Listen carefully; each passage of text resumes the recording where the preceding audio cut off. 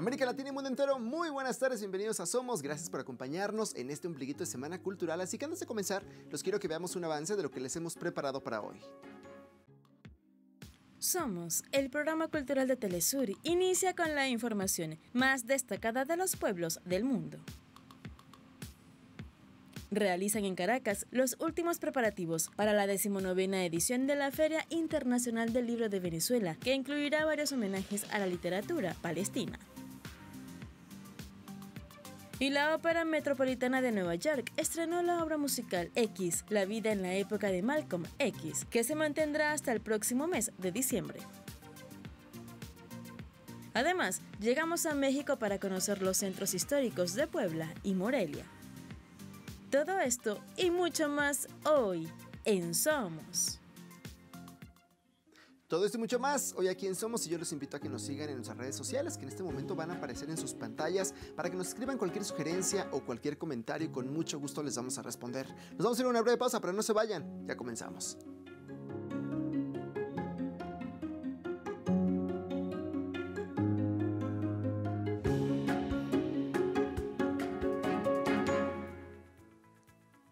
Comenzamos un nuevo recorrido cultural y lo hacemos directamente en México, país que a partir de este 9 de noviembre presentará el octavo Encuentro Nacional de Danza en el estado de Puebla, el cual finaliza el próximo día 15 del mismo mes. Y es que una programa, con un programa de 48 eventos totalmente en vivo, 20 actividades académicas y 22, 22 transmisiones digitales, esta cita dancística ofrece espacios para plantear, escuchar, pero también para analizar la situación local, regional y global que vive el campo de la expresividad corporal mexicana. La actividad es organizada por la Secretaría de Cultura del Gobierno Nacional junto al Instituto Nacional de Bellas Artes y Literatura a través de la Coordinación Nacional de Danza y el Gobierno del Estado de Puebla. El octavo encuentro tiene como objetivo visibilizar, impulsar la labor y también abrir horizontes sobre los modos de creación, producción e investigación de la danza.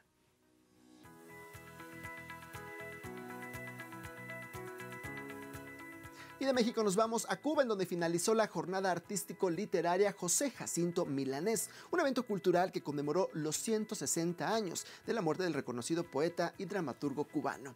Y es que el programa de este encuentro literario incluyó lecturas de poesía, mesas de opinión, eventos infantiles y múltiples actividades culturales. Esta jornada, que transcurre en la isla caribeña, tendrá lugar hasta este 8 de noviembre en la sede de la Unión de Escritores y Artistas de Cuba de la ciudad de Matanzas, tierra natal de José Jacinto Milanés, poeta, dramaturgo y ensayista considerado como el primer ingenio poético de Cuba. El encuentro tuvo su cierre este miércoles con la entrega del premio José Jacinto Milanés y la beca de creación Juan Francisco Manzano, premios que reconocen lo más resaltante de la poesía y la creación literaria reciente en este país.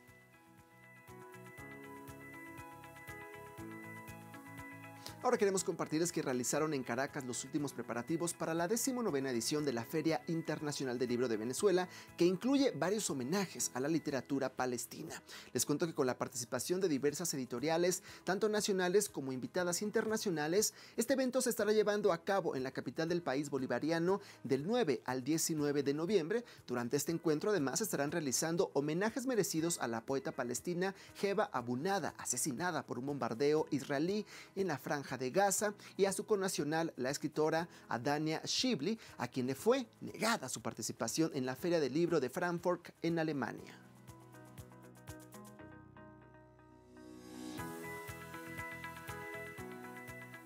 Y como parte de su extenso programa de actividades culturales, la Feria del Libro de Venezuela también tendrá espacios infantiles, danza, teatro y presentaciones, entre las que destaca el concierto binacional presentado por la venezolana Guiomar Narváez y la colombiana Teresita Gómez, dos pianistas reconocidas que compartirán escenario este viernes 10 de noviembre en el Salón Simón Bolívar del Centro Nacional de Acción Social por la Música y que además resaltará a Colombia como país invitado de honor a este evento y la y profunda hermandad social y cultural que existe entre ambas naciones latinoamericanas.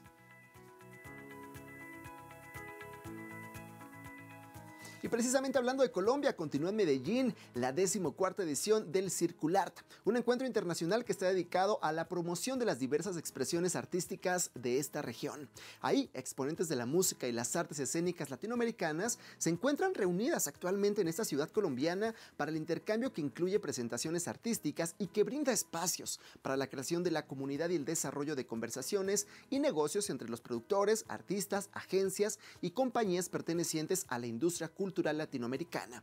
Entre los invitados especiales se encuentran Brasil, Venezuela, Chile, México, Perú, entre otros. Circulart nació en el año 2010 como una plataforma que está dedicada a la música y en esta edición se extenderá hasta el día 11 de noviembre, siendo la primera vez en dedicar lugar a las artes escénicas.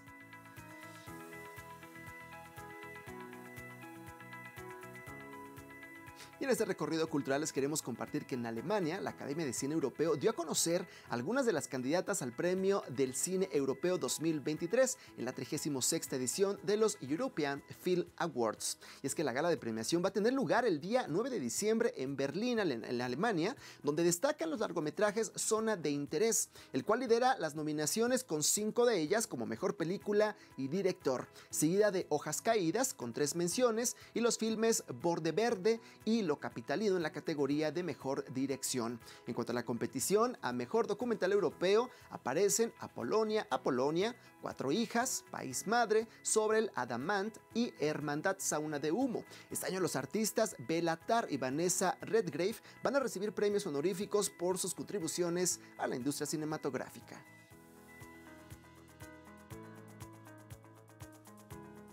Y fíjense que el premio de literatura en lengua castellana Miguel de Cervantes 2023 le fue conferido al escritor español Luis Mateo Díez. El premio Miguel de Cervantes constituye uno de los más prestigiosos galardones de las letras en castellano. El jurado destacó la prosa singular que sorprende por sus continuos y nuevos desafíos del autor Luis Mateo Díez, en el que recalca su, su pericia y el dominio del lenguaje, al igual que su humor expresionista con el que refleja la complejidad de los individuos. El escritor representa una literatura de caballeros con lo rural y lo antiguo, además de los referentes literarios canónicos.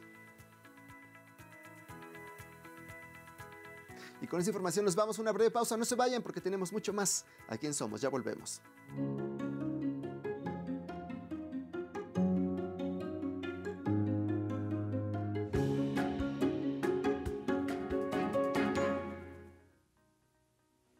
Estamos de regreso, gracias por continuar con nosotros. Aquí en Somos en este ombliguito de semana cultural. Les queremos compartir que en la Ópera Metropolitana de Nueva York se presentó una biografía musical sobre el líder de los derechos civiles de la negritud estadounidense, Malcolm X. Historia que innova con su afrofuturismo. Veamos. La ópera X, la vida y época de Malcolm X, que se estrenó por primera vez en 1986, fue compuesta por el afamado pianista estadounidense Anthony Davis, en la que el montaje escénico y literario aborda las semblanzas del líder de los derechos civiles más influyentes del siglo XX, Malcolm X, la cual incluyó varios aspectos de la vida del dirigente como su infancia, la muerte de su padre, la incorporación al grupo nacionalista Negro Nación del Islam, la adopción de su nombre, hasta el asesinato en 1965 a la edad de 39 años. Y creo que es la razón por lo que elegí esto como ópera. Es porque para mí Malcolm es un héroe trágico. Y su historia es, ya sabes, cuando finalmente se dio cuenta de quién era y comprendió realmente cuál era su posición en el mundo y cómo podía hacer una contribución realmente significativa. Fue derribado, fue derribado por nuestra gente, ya sabes. Bueno, creo que hay muchos factores involucrados. Es el despertar que ocurrió después de George Floyd. Y el hecho de que ahora con el tipo de conciencia en el mundo de la música clásica que incluya a más personas. Sabes, la idea de que hay tanta gente e ideas y una estética fue excluida y creo que ahora hay más apertura. Buscando piezas como la mía que realmente le hablen a la comunidad. La obra representa una especie de leyenda afrofuturista en una enorme nave espacial, girando sobre el prestigioso escenario de la Met Opera, en compañía de un coro cuya estética combina tradiciones precoloniales, así como la ciencia ficción. El personaje principal es retratado desde sus ideales y conceptos de libertad. En escena, el tiempo y espacio es acompañado por un grupo de bailarines, en el que sus cuerpos dan forma a la partitura, convirtiendo la pieza X, la vida y época de Malcolm X, en parte esencial de la música clásica por su diversidad y temática. El elenco está encabezado por el barítono Will Lieberman como Malcolm X y la soprano Leah Auskins como la madre de Louis Little y su esposa Betty Chavaz. It's something that I want to be very normal for me. Es algo que quiero que sea muy normal para mí. No quiero que sea un evento especial. Quiero que sea algo de que la gente esté acostumbrado a ver. La ciudad de Nueva York es tan diversa y nuestro mundo es tan diverso y creo que debería ser bastante normal. No debería ser este gran evento ahora que estamos haciendo Malcolm X si estamos trayendo gente negra al escenario. Debería ser lo que vemos todo el tiempo. Historias asiáticas, historias latinas e hispanas. Todo tipo de cosas deberían estar representadas en nuestro nuestros escenarios. Esta innovadora ópera se considera la segunda pieza presentada en el emblemático Met Opera de Nueva York, compuesta por un afrodescendiente con una duración de más de tres horas y se extenderá hasta el sábado 2 de diciembre con una experiencia black en el escenario.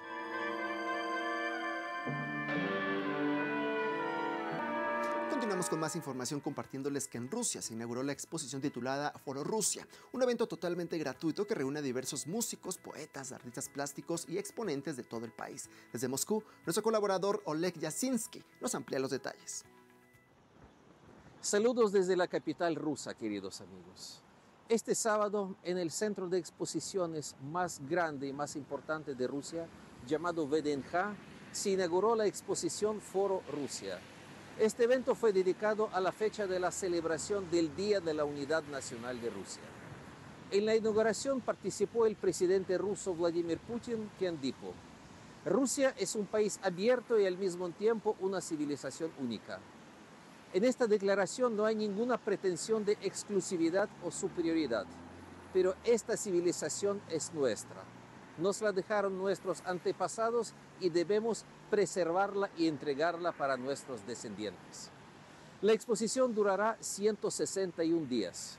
Contiene más de 130 exposiciones y están representadas 89 regiones del país, o sea, prácticamente toda Rusia.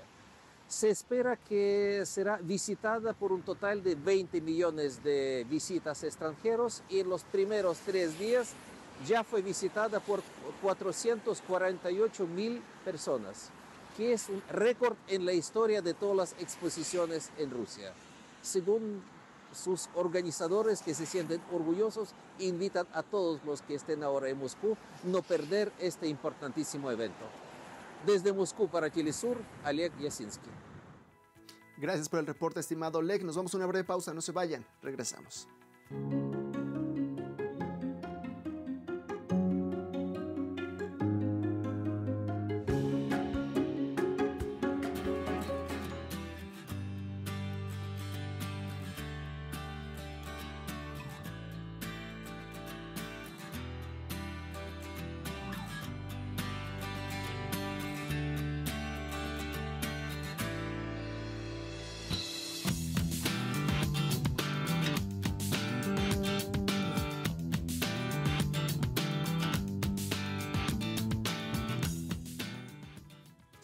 Los Patrimonios del Mundo les presentamos el Centro Histórico del Estado de Puebla en México, segunda urbe más grande durante la era colonial. Esto gracias a su posición a la mitad del camino entre la capital del país y la costa. Veamos. En el Valle Cuatlascuapán se asienta Puebla, lugar que está regado por varios ríos cercanos al volcán Popocatepec, el cual no tuvo actividad precolonial, más allá de ser ocasionalmente campo de batalla. Fue fundada en 1531, al ser declarada una zona de monumentos históricos, inscrita en la lista representativa del Patrimonio Mundial de la Humanidad ante la UNESCO en el año 1987.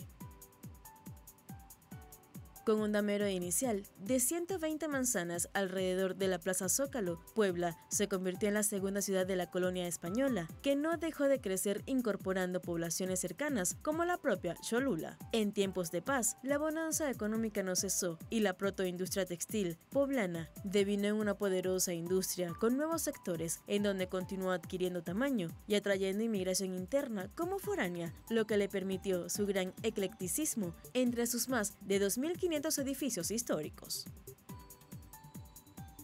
la gran presencia del barroco y elementos intemporales, como la piedra gris, ladrillos rojos y decoración con azulejos, destacan en el centro histórico junto a elementos arquitectónicos que decoran los balcones. Puebla es una ciudad bien conectada, tanto por aire como por tierra, la cual está a solo dos horas en autobús de la Ciudad de México. Su centro se puede caminar perfectamente para admirar su arquitectura de antaño. Continuamos con nuestro recorrido también en México, pero esta vez vamos a conocer el centro histórico de Morelia, ubicado en el estado de Michoacán, el cual llegó a ser el imperio prehispánico que fue dividiéndose en provincias que hoy pervive a través del pueblo purépecha. Vamos a conocerlo. Morelia debe su nombre a José María Morelos, vecino de la ciudad y uno de los héroes nacionales de la independencia de México. Durante mucho tiempo, desde su nacimiento, la ciudad fue conocida como Valladolid, fue fundada a partir de un monasterio franciscano en 1541, unos años después de conquistar la zona al Imperio Purepecha. Fue inscrito como Patrimonio Mundial de la Humanidad ante la UNESCO en 1991. Cuando Vasco de Quiroga murió, Morelia fue la referencia regional por la que se construyeron el influyente colegio de San Nicolás y se hicieron los planes para la catedral, que se edificó entre los siglos XVII y XVIII durante el auge definitivo de Morelia. Desde entonces son casi todas las construcciones históricas relevantes, la que fue ciudad de Valladolid en el valle de Guayangareo. Fue disputada en varias oportunidades y los revolucionarios solo pudieron contenerla desde 1821 tras la victoria del ejército de las tres garantías. Pero como en otros lugares, el idilio duró poco y distintas facciones lucharon entre sí desde el siglo XIX. Morelia no dejó de ser siempre una de las ciudades más activas políticamente. Este sitio histórico, que resiste la explosión demográfica, ha conservado 250 monumentos que se reparten en la cuadrícula colonial, dibujado por Antonio de Mendoza, en un reducido llano rodeado de las montañas de la Sierra Madre Occidental, lo que atrae mucho turismo a la localidad, especialmente interno, que desde la Ciudad de México se encuentra a unas cuatro horas, con cerca de un millón de habitantes, por lo que cuenta con su propio aeropuerto.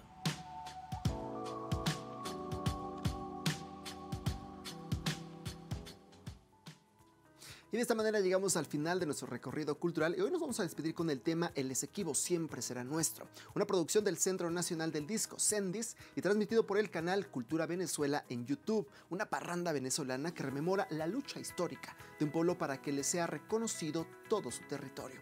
Nos vemos en una próxima edición, aquí en Somos, ya lo saben, mismo hora, mismo canal, que pasen una excelente tarde. Mi Venezuela,